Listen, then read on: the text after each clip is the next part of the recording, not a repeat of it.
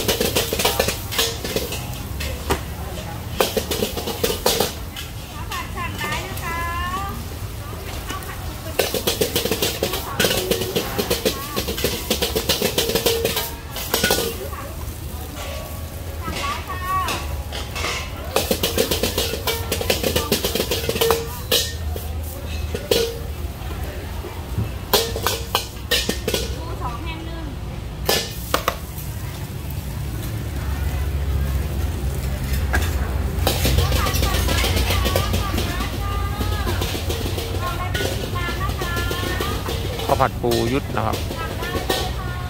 มีข้าวผัดแหนมข้าวผัดปลาเค็ม